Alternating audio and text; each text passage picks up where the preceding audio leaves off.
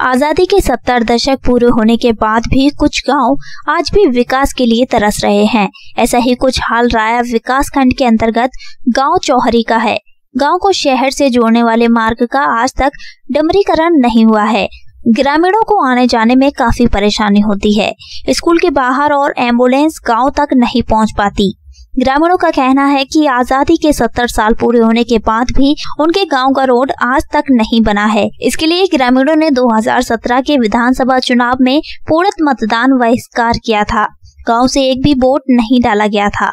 मतदान के दिन गाँव पहुँची तत्कालीन महावन एसडीएम गरिमा सिंह ने ग्रामीणों को रोड का डमरीकरण कराने का आश्वासन दिया था।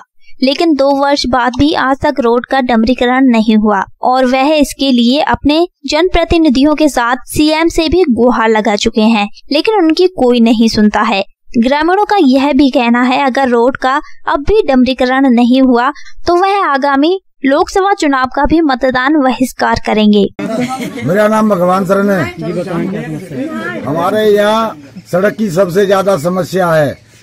उन्नीस से आज तक देश आज़ाद हुआ है। आज तक कोई सड़क नहीं बनी है। हमारे आने जाने का साधन सोनई है।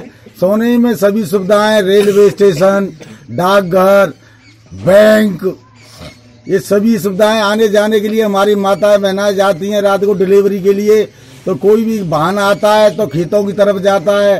कई विकलांग लोग हो गए हैं हमारे किसी से गिरने के लिए।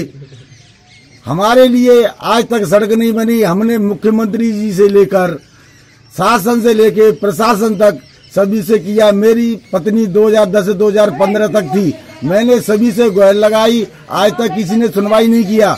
2017 के विधानसभा चुनाव को हमने गाँव वालों ने सभी ने इकट्ठा होकर बहिष्कार किया था।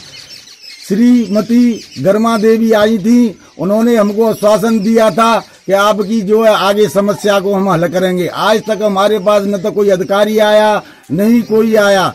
और 2019 का भी हम बहिष्कार करने के लिए तैयार हैं। क्योंकि सेंटर में भी बीजेपी की सरकार है, राज्य में भी सरकार है बीजेपी की।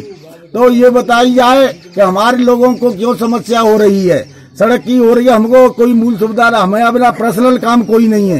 हमें केवल ये जनता का समाधान होना चाहिए। जनता का समाधान नहीं हो रहा है। न तो कोई विधायक आता हमारे पास। वोटों के लिए तो सब आते कि हमारे वोट डालो। वोटों को वोट लेने के बाद कोई आता नहीं है। तो 2019 का ही हम बहिष्कार करेंगे।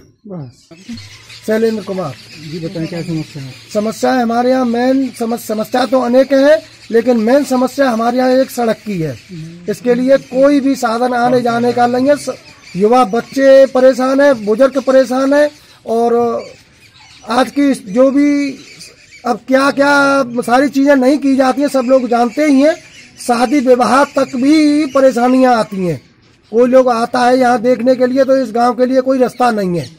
ऐसे कह के चले जाते हैं। तो क्या आपने अपने जनप्रतिनिधियों प्रतिनिधियों को इससे अवगत कराया है? कराया है। लिखित भी कराया है, मौखिक भी कराया है, उनके यहाँ गए भी है, सभी आश्वासन दे देते हैं, लेकिन कोई भी किसी तरीके का उस पर अमल नहीं है। कहते भी हैं, ज़्यादा भी अगर कुछ कहते हैं तो ये कहते हैं कि जब हमारे पास में पैसा आ जाएगा, तब करा देंगे। तो गवर्नमेंट के पास में पैसे